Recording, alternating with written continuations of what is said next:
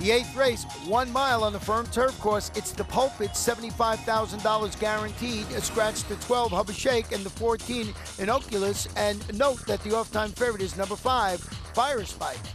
And they're off in the Pulpit Stakes. Smooth beginning inside for Cronin the Barbarian, who reaches up for the early lead. Here comes Less Than Perfect on the offensive early. Less Than Perfect puts ahead in front. Kutuzov will go with him from the hedge position. They're two lengths better than I'm Venezuelan, who sets up shop from third. Then it's Cronin the Barbarian, Fire Spike between horses. Unsaintly on the outside. Two step temper is down on the inside, a bit keen. Then it's a length and a half back to the outside. Night Prowler, saving ground is Jacob's Way. It's another two lengths to Chief Kitten. He's third last. Second last on the inside is Ready Strike. And last of all here, the early trailer is Night Out. Into the backstretch they go after the opening quarter went in a sharp 22 and 4. Kutuzov at 90 to 1. He's winging up top with a five length lead. Less than perfect is second. I'm Venezuelan is third. Fire Spike and Cronin the Barbarian with inside position on the inside, now about five lengths behind. Then it's Unsaintly and two step temper. Jacobs way up the hedge. Three lengths back to the outside Night Prowler to his inside Chief Kitten, then Night Out and trailing Ready Strike. Half mile 46 and 1. The pace has been robust as they swing to the far turn. Kutuzov starts to come back to the field, and here's Fire Spike four wide. Cronin the Barbarian needs a little racing room down inside with two step temper next. Night Prowler swings into action and they run to the top of the stretch. Cronin the Barbarian got an absolutely amazing split there, and he just took the lead as Fire Spike was sent wide. Following that move was Chief Kitten and Jacobs ways up the inside lane. Inside the final furlong, Goncalves with a dream trip for Cronin the Barbarian. He kicks clear down the outside. Night Prowler coming on. Jacobs way up the inside lane. Cronin the Barbarian almost home. Surging Night Prowler photo finish. In between horses, it was Chief Kitten who got the bob at Cronin the Barbarian. Night Prowler on the outside. Jacob's Way is fourth and 137 and one. Number seven, Chief Kitten. What a great finish. Just gets up to win it for owners Ken and Sarah Ramsey. Pays $13 to win. Trained by Chad Brown and ridden to victory today by our leading rider, Edgard Zayas. We'll take a short break and be back for our late daily double, which is keyed by the smooth air.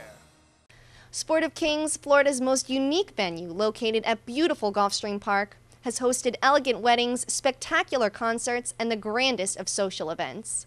Surrounded by lush gardens, pedestrian promenades, and inviting streetscapes in the signature style of Addison Mizner, Sport of Kings is the ideal venue for intimate gatherings or groups as large as 500. Our events coordinators and audio and visual production specialists can customize the room to any needs, while our chefs can create scrumptious menus. For information on holding your next event at Gulfstream Park's Sport of Kings, call our event specialists at 954 457 6186. Welcome back. The late daily double starts with the smooth air. It's one mile on the fast main track for two year olds. Ten runners will be going to the post. The off-time favorite, number one, Mr. Jordan. And they're off in the smooth air stakes. Some big time crowding in the center gates, so that's the favorite, Mr. Jordan, who springs out to take the early lead, with Juan and Bina moving up on his outside to be second. In between horses, it's Lucky Delfino down to the inside, Morgan's Harbor. Hubba Shake is three wide, Fear That Cowboy is four wide. It's a stretch of another three and a half lengths back to the inside, Hero of Honor. Another two lengths to the outside is hum that tune in between horses is honor earned, and on the inside, the judge chuckles. They bend into the backstretch after the opening quarter went in 24 and 3. It's the heavy favorite, Mr. Jordan, and Gabe Saez by a head.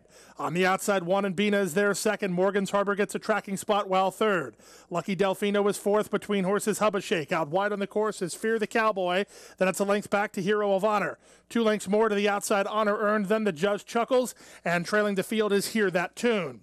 They went a half mile in 48 and 3, second quarter quicker than the first. Juan and Bina takes it to the inside horse, Mr. Jordan. They begin to open now at the three furlong point. They've put five lengths between themselves and Hubba Shake, who's now third.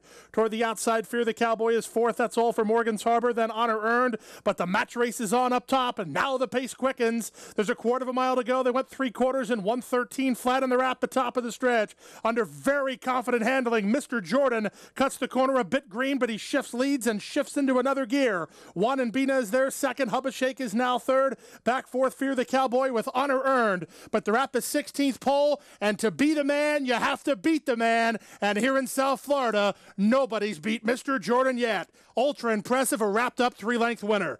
Juan and Bina second from Hubba Shake third. It's a very close photo for fourth between Honor Earned and Fear the Cowboy and 139 and 2. The ninth race winner, number one, Mr. Jordan, owned by David Mellon, Leon Elman, and Laurie Plesa, Eddie Plesa Jr., the trainer, and ridden to victory today by Gabriel Saez. Tenth and final race, one mile on the turf. It's the Wait a While, $75,000 guaranteed.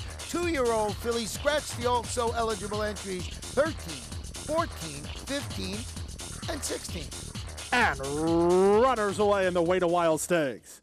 Toward the inside, Fearless Princess begins the best and goes looking for the lead. Quickly up the challenge is Hangover Saturday and Walking the Kittens a bit keen between horses and taken back to run third.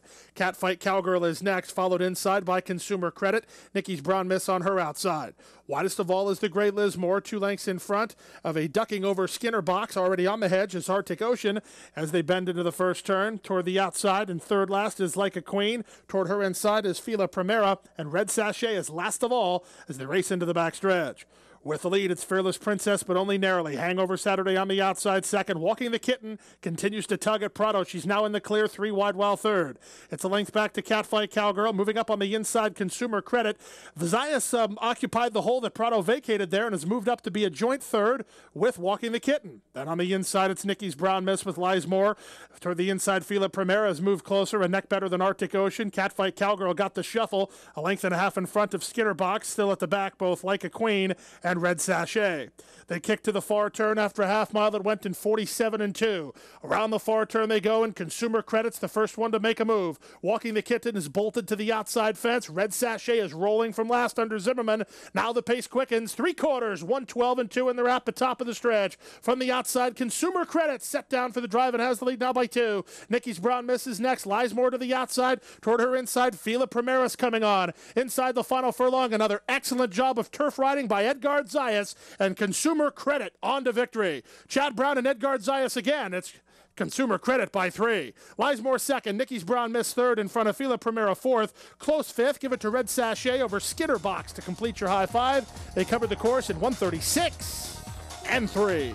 Number seven, Consumer Credit wins the wait a while and owners Klaravich Stable and William Lawrence. That gives trainer Chad Brown his second win on the card and gives jockey Edgard Zayas his second stakes victory on the card.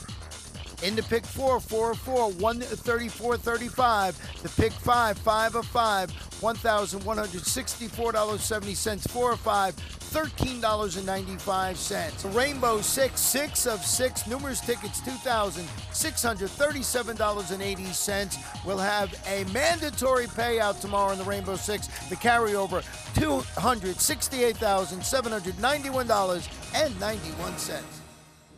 That wraps up Saturday's races. The Rainbow Six was not hit today. There was no single tickets tomorrow. Mandatory payout. I wonder if there's going to be a million dollars in it. You're going to have to pay attention to Gulfstream Park West. Good night and good luck.